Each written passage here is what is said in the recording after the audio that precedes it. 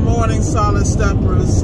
Good morning, Tech2Titans. This is Miss Ward coming to you. I'm uh, not too far from Tallahassee here.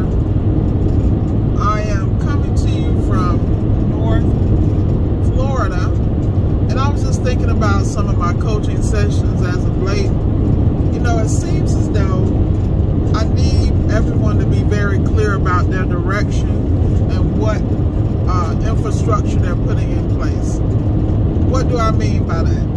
Well, we all know that we all need systems. You got to be able to communicate to the clients in an intelligent, thoughtful, courteous, and efficient way and still get what you need done and make sure that their schedule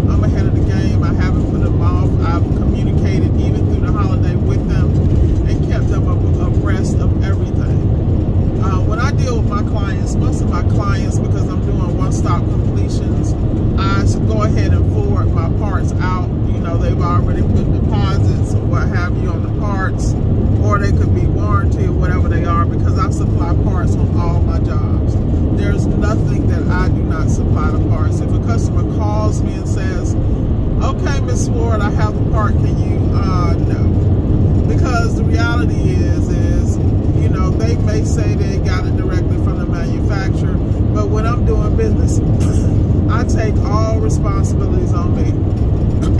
because if something fails, I am responsible. I have the paper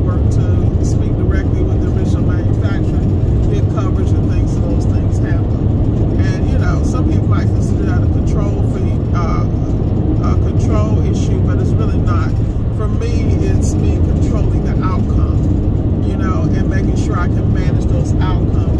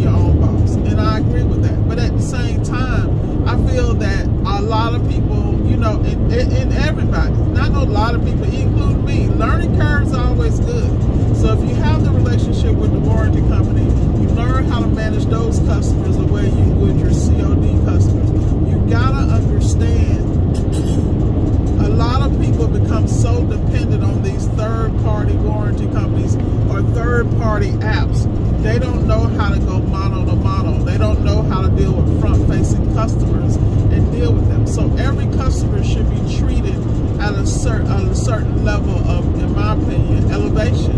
And when I say that, like I am very popular with my clients because just like I can go street and code switch and be thugged out, I can also be extremely professional.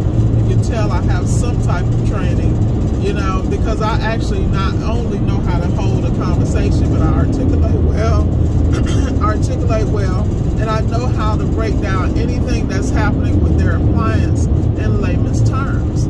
I also make sure that if they're inquisitive while I'm doing the repairs, I explain them, I bring them into the repair so they understand what I'm doing and why. And that just opens up a level of transparency that cannot be broken. And I think that's very important because in this day and age, there's so many smoke and mirrors out here that people don't know what they're getting, who's showing up, what's going on. You know, you got so many lead generation companies out here just sending anybody to customers' houses. Half the people background check, half the people ain't because what they're doing is they're throwing a net into a pond and picking up anything. That's not how I run my business. Everything I do is strategic. Anyone that knows me, anyone that coaches with me or has sessions with me, the first thing we do is we get your house in order so you can actually see what your goals are. And you're you're able to attain them by staying focused, staying strategized, and being very clear about the goals. And then putting systems in place so no matter where you're at in the process, you can win. Care if you're starting in the beginning. People know the way you start a business is the way you end a business. Understand that. I was just talking to Darian Clark over at DCNF because Darian Clark and uh, Slick, we're all friends. Like we started, when I say we started together, we started at, you know, we all went to appliance boot camp. We were all eager to get out here and, and boy, look at that, we made some mistakes. Yes, we did. Call them, they'll tell you. We still making them. But the point is we keep getting up and getting it done. You know, one thing y'all gotta understand, you gotta understand if you fail, failure is not an option. You just gonna fall, fall you're gonna fail forward. Meaning that you're gonna be in a better position than when you started. And what do I mean by that? Yeah, you might have lost something here and there, most likely you not only learned a lesson, but you leveled up. You know that in order to be successful, you have to level up at all times in everything you do, from the way you handle your calls, to the way you your, your phone calls, the way you deal with your service calls. Like me, I'm constantly positioning the most efficient way for me to go into a client's house with tools, with parts, and being buttoned up. Meaning that when I go in, all my stuff is sealed. I'm not rolling in with something raggedy. I'm not carrying multiple bags. Uh, if I go in and I pre-diagnose the job, everything is going to be in that tote or what I'm, I'm going in with, and it's going to be secure. It's going to look professional. It's going to be buttoned up. I'm going to be clean, smelling good, looking good, talking good, walking good. And that's the thing because you are presenting your image, you're presenting your company, you're doing all those things that are going to make you not only stand out, but stay, I'm telling you, uh, uh, so many levels above your competition because the reality is people out here just doing anything. I mean, let me tell you something. I know all the guys that I work with, they're very clean cut. Every time I see them, they smelling good and looking good. And that's a beautiful thing. And they have such a beautiful disposition, you know, because they are really gentlemen, ladies and gentlemen, you know. So I don't worry about how they show up because I've never seen that in them. Even if I pop up on them, they're always tucked in, ready to go, no shirts hanging out. And the reason is, is because this is an example of their own self-image. Some stuff you can't train. I can't teach you how to wash your butt. I can't teach you how to, you know, cut your nails. I can't teach you how to pull the hairs out your nose and your ears. I can't teach you how you need to get that fresh line up and haircut, if, you know, every week. You know what I'm saying? I know people get them every five days, 35 days, you know, whatever it is. Everybody should have a grooming process just for themselves personally. And when you show up as a representative of my company, I don't have to teach you. I mean, this is all part of the hiring process. Y'all go up here picking up anybody, you know, and that's called desperation. The reality is if you don't have access to the help, you get your business to the point where you can handle it. And then as you layer people in, you layer them on not because you have to have them, you done got in a situation. You need them because you when you need people, that's when you make decisions out of desperation. These are things you never want to do as a business owner because the reality is when you make decisions out of desperation, you get desperate results. And that means that could be anything. The reality is what you think working may not be working. Slow down, dissect the business. You got these last six months. You know, you out here, you grinding, you really need to get, you really got 90 days, not six months, but that's a different conversation. In my personal opinion, you know, you got these 90 days because the last three months of the year, you need to be building the momentum to flow into the following year. Like, you need to be on your game. This is why you always hear me preach about this book called The 12-Week Year. Why am I always preaching about the 12-week year? Because it gives you an opportunity to take a year and break it into four quarters, but instead of four quarters, you get four years worth, four years worth of work done in one year because you're structured, you're disciplined, you have point, have uh, pain points you're going to address, you're going to put systems in place, you're going to have daily steps, like it's a process. And the thing about it is no one expects you to be perfect, but application is part of the game. You must get started, as my boy Vusi, V-U-S-I, is always saying. Starting is half the battle. You can't beat yourself up. Rome was not built in a day. And a lot of times, I see you guys look at myself, Darian, and other people who you deem to be successful in the business. And you know, that's a compliment to want to pat yourself, but I don't, I don't advise that. I advise that you find what works for you. You fine tune your stuff because the problem is if you keep ear hustling off everybody and not applying anything, you never know what's going to work. Your market is a different market. This is why I enjoy coaching people in multiple markets because it exposes me to the algorithm across cash COD algorithms over apps, lead gens, warranty companies. Because don't sit here and tell me that Old Republic deals the same way in the center of Atlanta, you know, in those high traffic areas where they have lots of techs compared to where they deal where they have none. Because I'm telling you, there's a difference. And all warranty companies are the same because if you have a dynamic that needs to be served or a, a group of customers that need to be addressed, you got to be on your game, man. And you got to make sure that you have the text to service them. You know, and then you got to make sure those texts have great reviews and that they are getting out to these places in a timely manner because everything is a ripple effect. What, what most people don't understand is the word erosion is real. Erosion meaning relationships will erode. Customer, the last thing any warranty company wants, I, you got warranty companies who cleared 300 million in the last year. Look it up. I ain't gonna tell you which one, but you'd be surprised.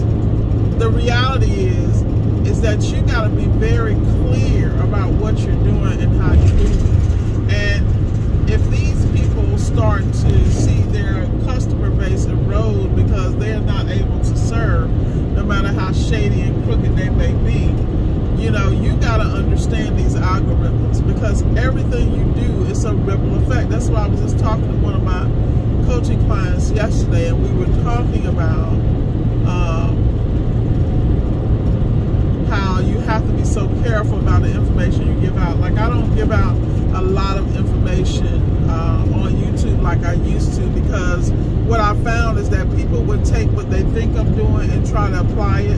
And like I was telling uh, her, I was like, you know, you got people playing in the pond. You got some people that's just chilling. They throwing rocks, you know, skipping rocks across the pond. They got, you know, they not making a major waves. They just doing a little ripple. They not disrupting the process of the wildlife. Then you got some dummy that come along. It's not paying attention to the rhythm or the algorithm, and they drop a boulder in the damn pond and just disturb every damn thing. You know, the reality is when you get in situations, you gotta learn how to go in and it's not even about rocking the boat. You got to understand how to read the landscape and make your moves accordingly. The biggest thing I see is that people are so in their own mode of what they want. They don't take the time to read and study the landscape or the algorithms so that you can get in and maximize what you have to do. The key of, to life is not only talking, but you know, God gave us two ears. You got to listen and two eyes to see. You got to really see, not looking through the lens that you, your experiences come through, but looking and listening to learn and understand with those nuances. So when it's time to pivot, you're ready because you see the full scope of things. The reason I cover the entire state of Georgia and the reason I, I mean, the entire state of Florida and southern Georgia and Savannah is because I needed to expand my territory and make a wider net. So not only could I have options, but I can pivot. Like if I wanted to pick up and move to any of these areas that I'm covering right now, I would be, I would be good. Simply because they're all popping. And they're popping because I studied them. Now, if you think I'm to sit in these areas as they get saturated and people come and ruin the algorithm, well, I'll be done pivoted before then because I have other options. I have government contracts. I have coaching and consulting, you know, courses, things of that nature. But I also am very clear about how I move and why I move the way I move. You know, the problem with most people, they don't have a plan. They just out here trying to get a bag. And the problem is, what does it matter if you get the bag if you don't know what to do with it when you get it? Like, are you really doing the, you know, profit first program where you actually know where your money going? 90% of people don't know because they so used to surviving or trying to rob, you know, make a dollar to, you know, trying to take a, you know, trying to make goodness, what's my saying? Make a dollar out of 15 cents. They don't understand that, yeah, you breathing today, but your ass gonna be dying tomorrow. That's real. So what you gotta understand is take your time, man. Just take your time. These appliances aren't going anywhere. So you need to take your time, structure your business accordingly because you're gonna make mistakes. You're gonna fail. You're gonna have issues. You're gonna find yourself where you're so frustrated. But let me explain something to you. In business, the only reason you're frustrated is because you don't know what to do. You don't know how to do it. This is why if you do get a coach, not saying you telling you, I'm not for everybody and I'm okay with that. Because I'm very clear about the direction of my businesses and the direction of my students. I do not coach everybody because everybody, a lot of people don't come prepared. Like if you come work with me, you gotta have some paper. I'm gonna keep it real. It ain't about as much paying me as much as it is about setting the business up properly. You know, I see so many people, I'll tell them to do something, and they go find the cheapest option to do some shit. I be like, really? Like, really? In the end, are you really saving money? Or are you opening yourself up for another, another liability? Are you building the business credit like I told you from the door so you don't have to use your own money? Like, are you doing the things I told you to do? Just telling people to do stuff that I don't apply and do on a regular basis. What you guys don't understand is I'm constantly creating businesses and opportunities. So as I'm structuring those businesses, I have to constantly go back and run that same blueprint that I'm giving you guys of structuring my business credit so that I am not um, affecting my personal or my other business that's another thing people have to understand. Whenever you're doing these things, you got to structure it in such a way where you have an additional stream of income. So every business I open or every opportunity, everything is umbrella. So everything leads to everything, multiple streams. But you got to realize you open something else, that other thing that you open, that business should be able to survive on its own and should be self-sufficient. It should be another drain or bill. And the reason people go ahead and do things improperly is because they don't understand there's an additional stream that's supposed to be added. You know, but it's also got to be able to carry the weight of itself. It shouldn't distract from what you already have. If anything, it should cause it to level up. So that's enough of uh, game for y'all today. But I want you to understand, you got the next six months, 90 days. Get that book 12 week year. I'm going to put it down in the description a link for 12 week year and a link for profit first.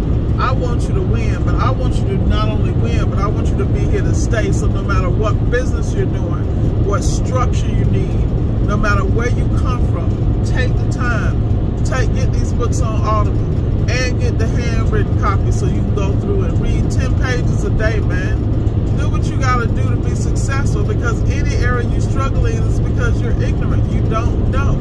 Doesn't mean you're stupid, doesn't mean you, you can't do it, but you know, ignorance is in not having knowledge.